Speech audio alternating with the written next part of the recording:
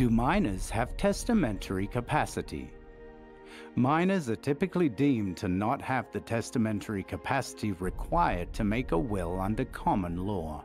However, in many jurisdictions, minors who have served in the military are granted the right to make a will by statute. Individuals in South Africa gain testamentary capacity at the age of 16.